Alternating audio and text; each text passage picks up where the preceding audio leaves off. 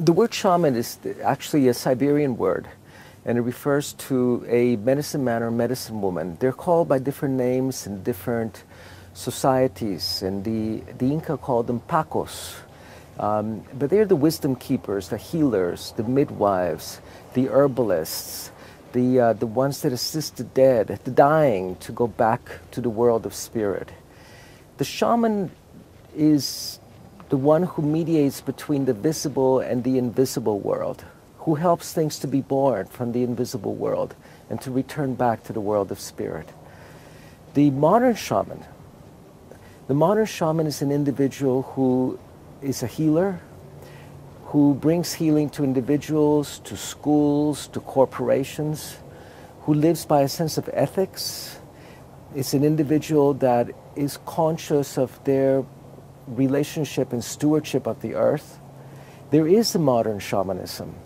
And my job is to train modern shamans. I train men and women to be healers in a very ill world. We live in a very sick society. We're poisoning our children and keeping them trapped, trapped in a medical system that will keep them dependent to the day they die. So from birth to grave, we are uh, poisoning them. We're, uh, our through our medication, through our food, through the interventions that we're providing for them. And while Western medicine is extraordinary for the healing of trauma, if you get bit by a serpent, you do not want to go to your shaman.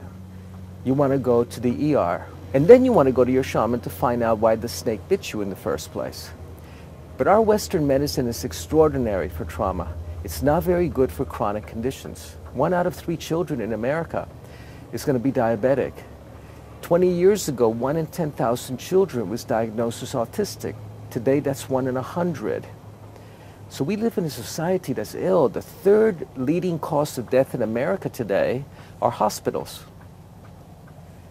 So we have a need for healers, for healers that can bring us back into balance with the earth, that can bring wholeness back to our families, and that can dream a new relationship with each other, with the planet, and with our destiny that can dream that into being.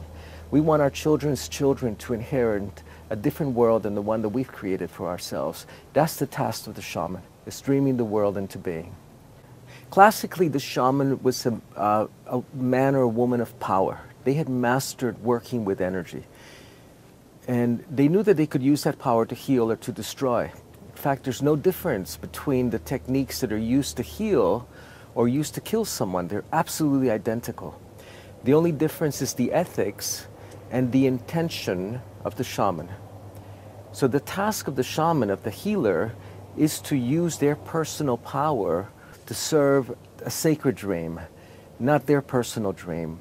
When they started using personal power to serve themselves only, they were abusing that power. Now, of course, that's the Western definition of success. It's when you use your personal power to build personal wealth only. Whereas for the shaman, it's a measure of your compassion and generosity, how you're able to be in service to the planet and to the community.